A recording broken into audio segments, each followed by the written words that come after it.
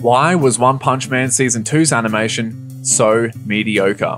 Lack of talent, budget, laziness? Well, in an industry where animators go to hospital thanks to overwork, or you know, occasionally die from it, safe to say I don't think that's the answer.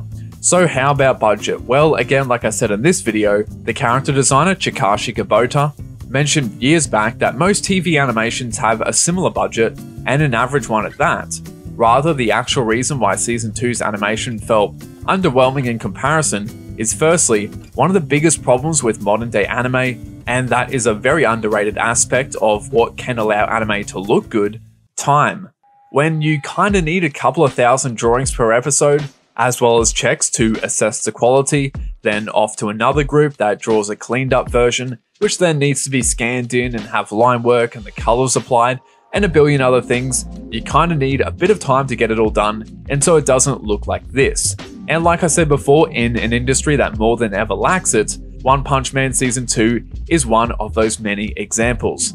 I tried reaching out to staff that actually worked on Season 2, and it was very much confirmed this was the case. And when digging further, it seems they had 6 months to produce 12 episodes. For comparison, the standard length behind an average anime episode is 2 to 3 months. That's 80% less time. 80%. Even Dragon Ball Super, another high profile show, notorious for its awful schedule and moments of lackluster animation as a result of it, had around 4 weeks at its lowest. Honestly, I'm surprised the staff didn't resort to just PowerPoint animation at that point. The fact that you still had animation like this created amongst such a mess of a production speaks not only to the talent, but the insane amount of work the staff put in. This is also one of the main reasons behind the common complaint that some fights took place off screen. But it goes even further.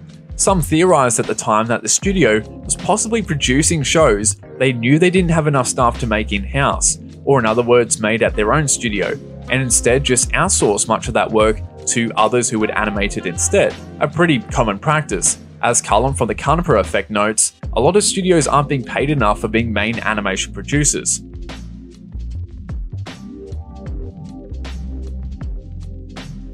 Now, yes, there was still a bit of outsourcing outside of Japan to a Chinese studio known as LAN, who were also joined by a bunch of freelancers tackling a decent chunk of key animation in episode 8. Even with such a large group assembled though, the credits would still point to that JC staff were heavily involved. And keep in mind, this episode was the largest gathering of non-JC animators. Overall, JC chose to take on a lot of the animation themselves, putting more strain on everyone naturally, but also giving them no room to breathe. Now, that might sound like a self inflicted wound. Why would the higher ups, who know the staff don't have enough time to create animation for this season, they're well aware this is an unrealistic schedule, wouldn't offload an entire episode or two off to some other studio? As a matter of fact, around the same time, another one of their shows, High School Girl, they actually did that. It originally was intended to be 2D, although seems they didn't have enough staff for that, so it ended up becoming 3D and would be produced by another company, SMDE, and well, a few other different ones being involved as well. So, why was One Punch Man then the exception? I don't have a direct answer from any director per se, although time has proven there are some clear advantages from it. For one, you can achieve greater cohesion in a stylistic sense, because having a completely different team handle an episode can be a double edged sword, depending on who it is and what their circumstances are. In some cases, it might bring a downgrade visually, because perhaps said studio is also burdened by too many projects themselves, and their best animators are off working on another show. At the same time, it could allow for an entirely fresh approach and can provide a bump up in quality. But most of all, efficiency and communication will always be tighter when handled by a smaller group, all gathered together in the same office. When the director is just down the hall, it goes without saying that there are going to be fewer complications than when you're sending the workload to a team thousands of miles away. I think, if anything, this decision clearly indicates that the show wasn't some afterthought by the producers, as some have made out, considering simply the amount of their own staff they poured into this project. Still, it's an interesting decision to have been made by the higher ups, and peculiar decisions don't stop there. Putting the whole time issue aside, there was another problem that affected the animation, and that was poor compositing. Compositing is handled by the photography team, and I do not mean these guys. This is sort of a leftover name from the era where cameras were actually used in this stage. But to put it simply, it involves taking all the elements produced by the various departments, background art, 2D animation, 3D animation if used, and placing them all together. Of course, to make everything blend together and add a sense of depth, they will use different types of lighting, blur, textures, and other effects to achieve this. However, at the same time, poor compositing can detract from the readability of the animation, and man, was that a problem with Season 2. As an example, we have this clip, the textures and colours are so overbearing, it obscures the drawing underneath. To the point, it's almost just this blob of colour in parts. To be more specific, this is the result of mediocre value control, which affects the clarity of the image, although the airbrushing doesn't do it any favours either, creating a muddy look and just making everything less clear again. Great animation, bad compositing. And there are so many examples of this where good animation was obscured. In this scene by freelancer Yen, these cool hand-drawn effects are replaced with a basic glow, with other effects such as the lightning and dust effects that came after being completely removed. But the most egregious example of all was the removing of the Terminator impact frame by animator Zucchini Juice, marking an all-time low for JC staff. Now there's a possibility these cuts were removed due to time, but either way my point is simply that it wasn't just a tight schedule animators had to contend with. Now, the second main reason is the departure of series director Shingo Natsume. I went in depth as to the importance of his presence in the why One Punch Man's animation looks so good, so I really recommend checking that out to give context to what I'm about to say. But moving on, while Natsume's connections with the top action animators in the industry certainly helped, it was also his team building skills and the relationships he formed with many animators back on Space Dandy that made many of these talented animators eager to jump back on another project with him. Again, I'll mention like I did in that video, that the majority of the best animated moments in Season 1 were either by freelancers or animators from different studios to Madhouse. The scene between Lord Boros and Saitama where you had like a million impact frames and some incredibly detailed debris was by the legendary Yutaka Nakamura from Studio Bones.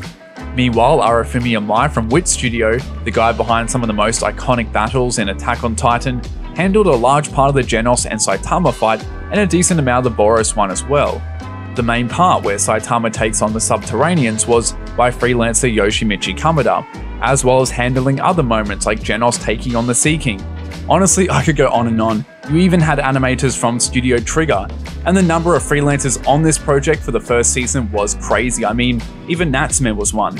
Of course, it's not like Madhouse's own animators just sat around and did nothing. One of the studio's best action animators, Hidehiko Sawada, definitely made his mark with his section of Genos taking on Saitama and this scene. To put it simply, considering you had the best names all gathered together, it was highly unlikely that such a team would be topped. But even so, if JC's staff were given a good schedule, it could have looked phenomenally better. As we saw before, Season 2 still had good animation amongst the chaos. Imagine how great it would have been if they were given the same time Season 1's team had. And on that note, I need to mention the names that still managed to shine amongst it. And of course, that brings us to our boy, Aoki. If there was a moment in this season you were like, hey, this kind of reminds me of the first one, there's a high chance that's him. He mentioned a while back that he went through a bunch of Sakuga Mads actually from the first season, and you can definitely see the influence, such as Kameda's inky brushstrokes or Imai's detailed debris cut. Cool, references aside though, Aoki seemed to possess this otherworldly ability to consistently produce scenes filled with animated movement and dynamic camera work all while tackling the most work out of everyone, being present for every episode. I have no doubt Aoki's work was a bit of a morale booster to a lot of the animators around him, and safe to say, Season 2 wouldn't have been the same without him.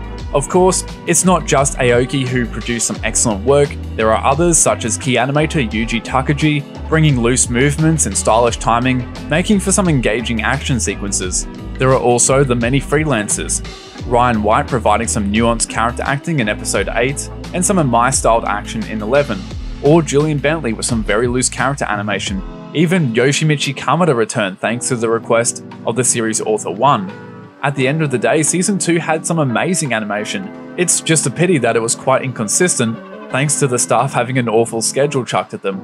Even so, I hope this video provided a different perspective and perhaps some appreciation for the staff and what they had to put up with. But with that note though, brings us to the conclusion of why One Punch Man Season 2's animation was so mediocre. So thank you everyone for watching and please check out my Patreon so I can make more videos like this that dive behind the scenes of anime and bring to light a lot of info that usually just circulates in small communities. And also shout out to all the current patrons. Big thank you as always. And with that though, I'll see you later.